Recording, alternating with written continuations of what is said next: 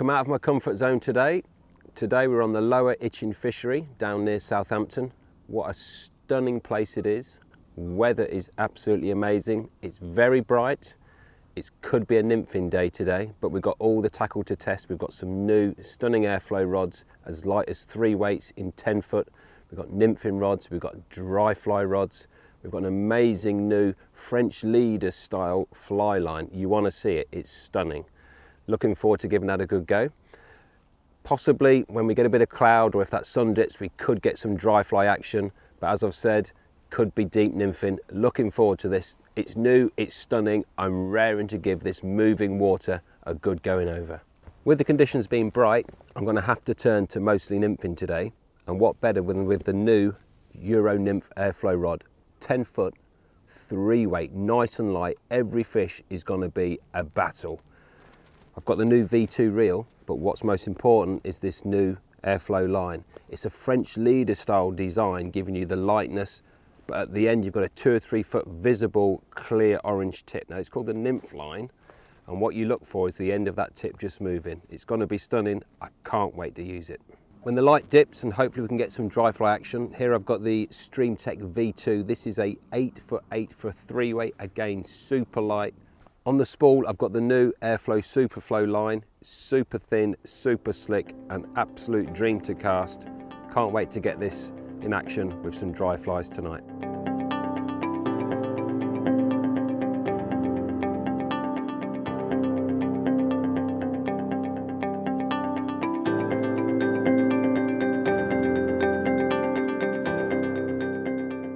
It's a trout sitting down there and you can see it's a lighter colour, a lighter tail, as opposed to the chub with a, a black tail, which is the giveaway. This looks like a cracking brownie, couple of pound plus.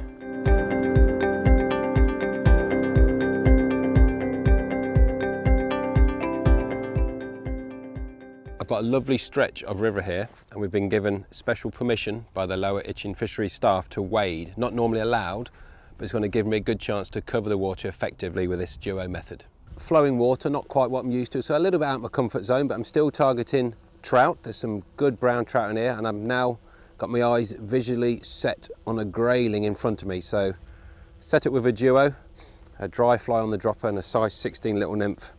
Putting the new Streamtec V2, a little bit lighter than I'm used to, only a three weight, so a small fish will give me a good fight, not the seven, eight rods, but a lovely fight it was gonna give me. So let's just see if I can tempt a grayling.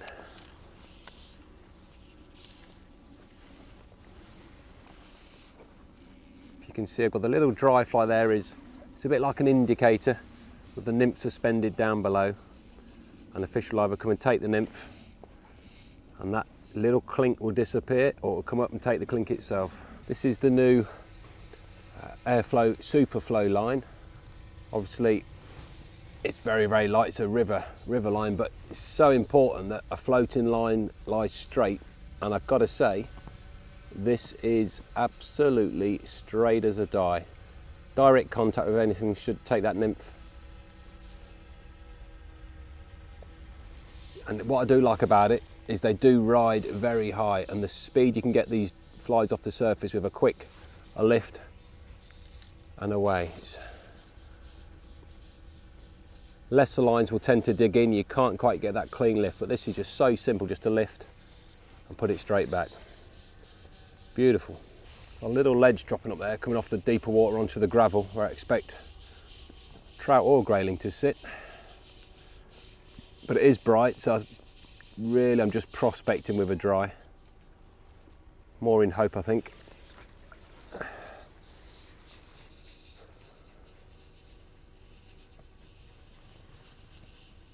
It's like fishing the banks for trout. Again, low profile, keep low, stay, always stay behind the, the fish. You notice I'm casting up the flow of the river.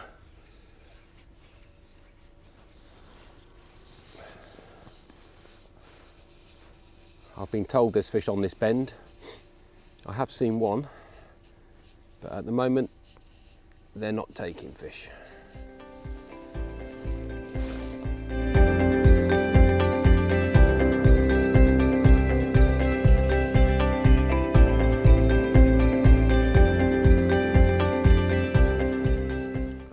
Tried the uh, duo with the dry and a little suspended nymph with no joy, apart from uh, one unlucky brownie that I let slip back.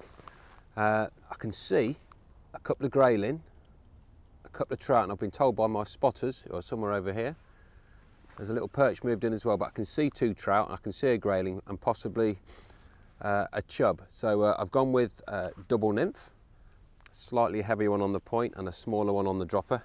Now fishing this new, and notice a nice matte finish, there's no glare, a Euro Nymph rod with the new Euro Nymph line with a fluorescent tip, about three foot long, and the, the front end sits nice and high, and all I'm watching is for that little dip. So this is a competitor line, high vis end, you're looking for a movement for that last few feet just to slightly dip, that'll indicate a trout.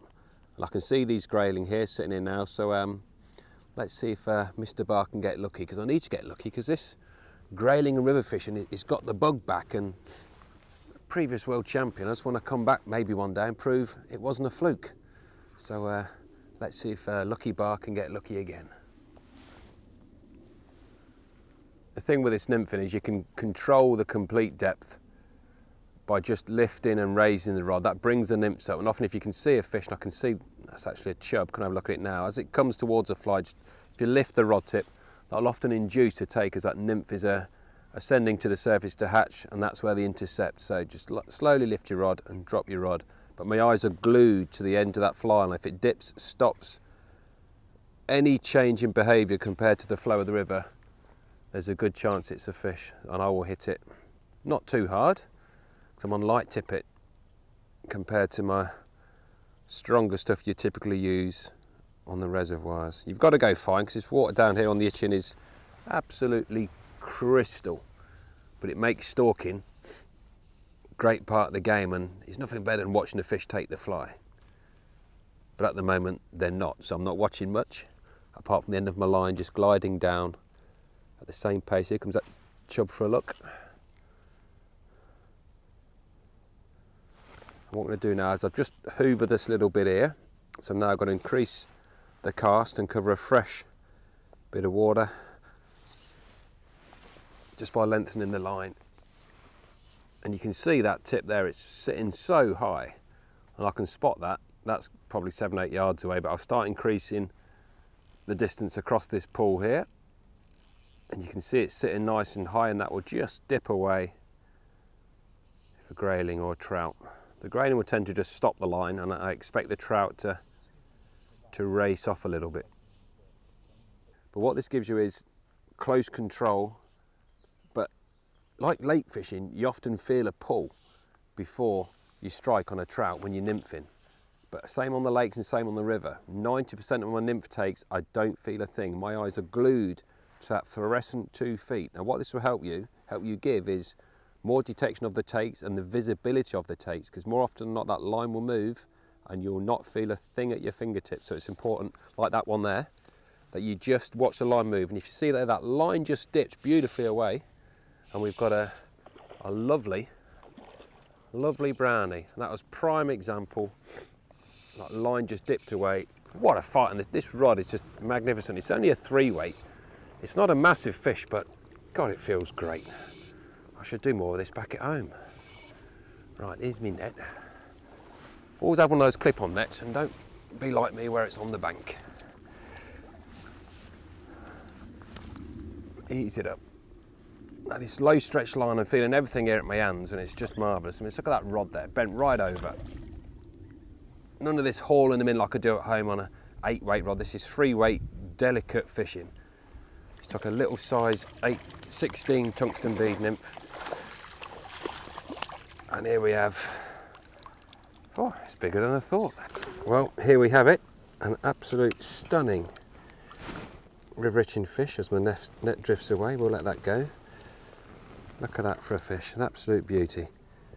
And it's this kind of fishing on this new little lightweight three weight rod that wants to get me back into this competition fishing and back doing more rivers. What a beautiful specimen. What a fight. I'll give him the grace of a gentle release. Off you go, fella. And the culprit being the new Euro Nymph 10 foot for a three weight. I mean, none of this beastie eight weight stuff that I'm used to. It's actually nice to feel the fight from a fish instead of being the big bully. The fish get a fair chance, they have a fair fight. I still did win the battle, but a much more enjoyable battle on this lovely, real soft, cracking little rod.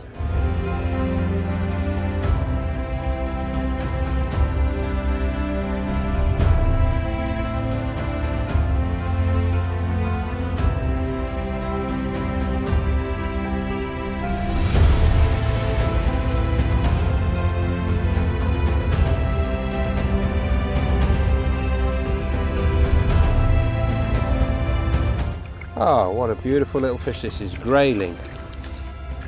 The lady of the stream as they're known. Probably one of the most beautiful fish you can catch. Very lively.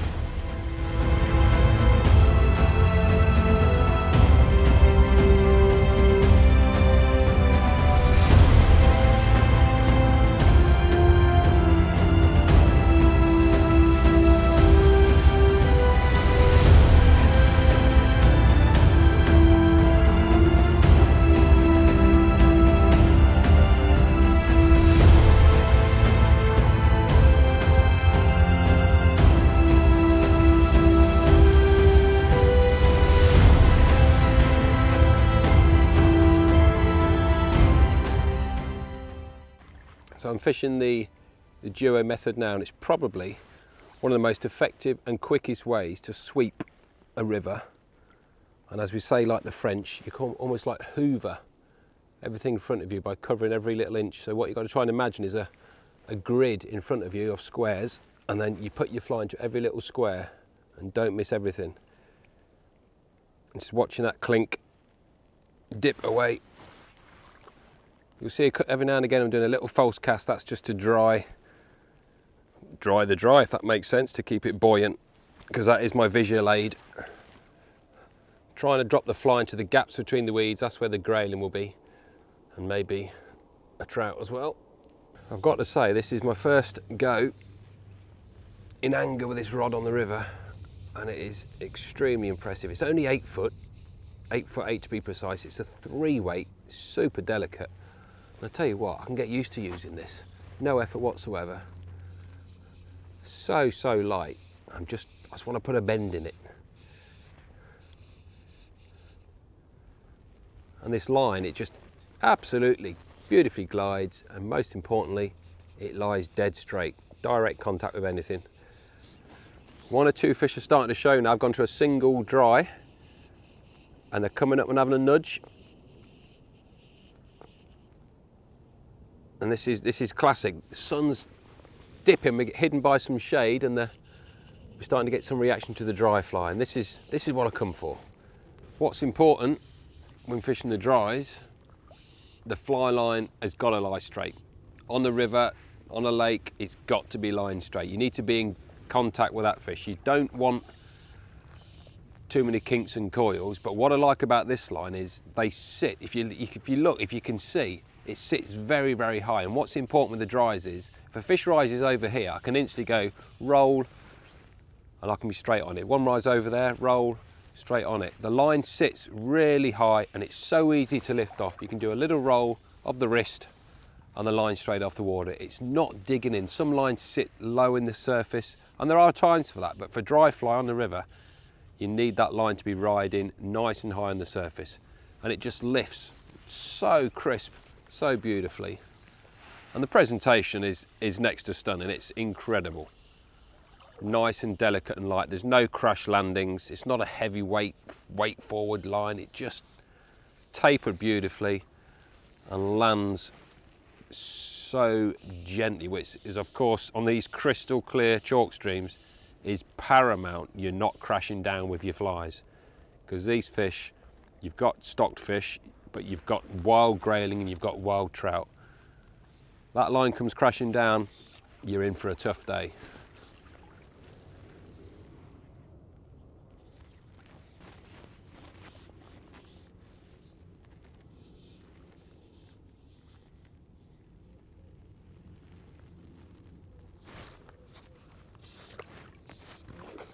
Oh, here we go. Grayling's going berserk. At last we've got a what looks like a a good measuring grayling, as they say in the competition scene. Come up and swallowed the retirer, which is a sedge pattern. Oh, no, it's a mean of fish. It's not a grayling at all. It's a stunning little brown trout. 1-0 to the dry fly. Doesn't get any better. Watch the fish travel downstream, engulf the fly. Beautiful, delicate, wild, lower Itchen brown trout. Let's, let's let him go.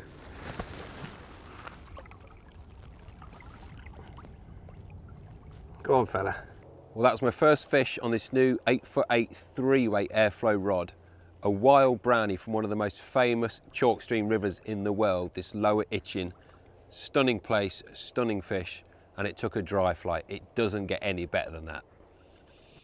Always one down there.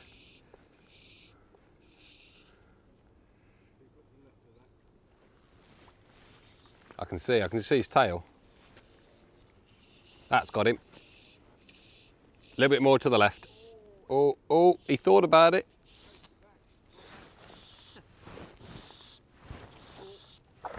Another Itchen grain. Look at the bend in that. This fish is barely 22 centimetres long. And look at the scrap.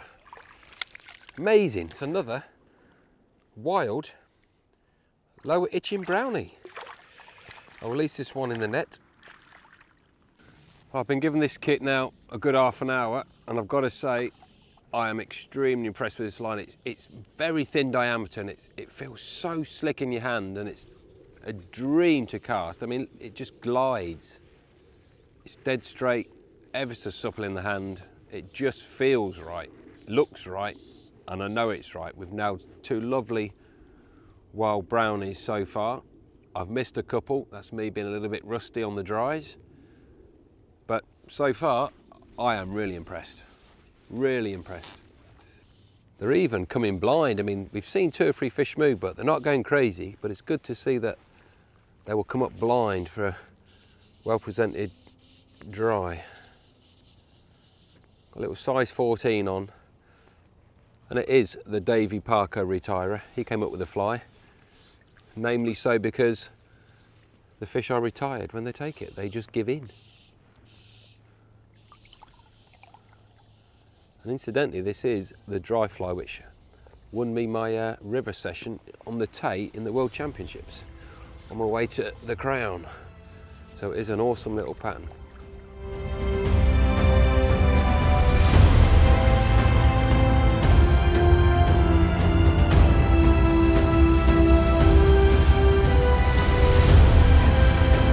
The sun's setting down behind me here. I've got a three, three and a half hour drive home back to the reservoir world. But I tell you something, I'm coming back more of this river fishing. Absolutely loved it. The fishing has been amazing. Grayling, wild trout, stock trout on this new fantastic lightweight rods, lightweight kit.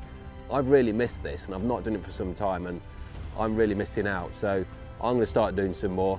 You guys should come and join me and get back to this river fishing. It's amazing, it's real, it's wild, it's an adventure.